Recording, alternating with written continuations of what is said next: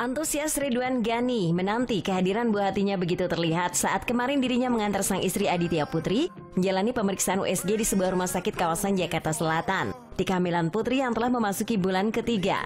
Lalu seperti apa perkembangan kehamilan Putri? Check this out.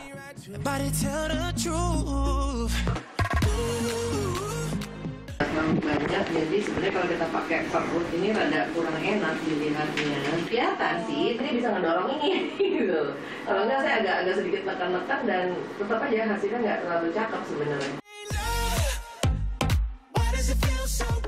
Bayi itu udah udah bergerak. Sebenarnya semua juga bertumbuh ya terutama otak kan? Eh, Insya Allah sih untuk overall untuk yang besar besarnya pada trimester satu kan dia lihat jantung kita lihat uh, dia tengkorak dan semua ukuran itu sesuai lah ya. Kalau boleh katakan hampir sama deh. Nggak nggak nggak diskrepansinya nggak jauh dari yang pemeriksaan yang lalu kan nutrisinya. Jadi harus dilihat pada trimester satu justru sering kali kebutuhan saya harus makan banyak. Saya orang hamil makan buat dua orang itu salah.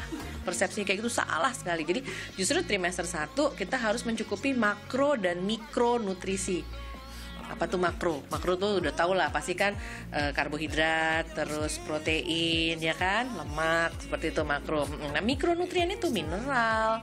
Jadi sayur-sayuran buah beraneka ragam kacang-kacangan. Jadi makan itu nggak harus banyak tapi kecukupan gizinya merata. Kalau aku gitu dok sebenarnya dari dulu tuh musuhan sama kacang. Okay. karena kayak takut jerawatan gitu-gitu kan. Maksudnya nah, tapi memang kemarin itu sempet uh, baca kayak menu makanan ibu hamil tuh kayak variannya kayak kacang-kacang warna-warni gitu ya dok jadi kayaknya sekarang langsung mau makan iya karena sebenarnya sekarang yang penting ya buat baby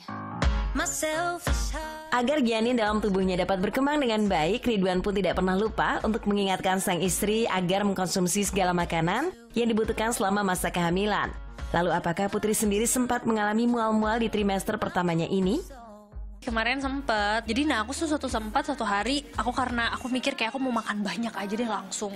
Nah itu akhirnya pertama kali akhirnya aku jadi kayak nggak hoe doang, akhirnya bener muntah makanannya keluar karena kayak aku kekenyangan. Jadi ternyata aku baru tahu kekenyangan mual. Putri itu orangnya nurut-nurut aja, cuman emang harus rajin diingetin gitu.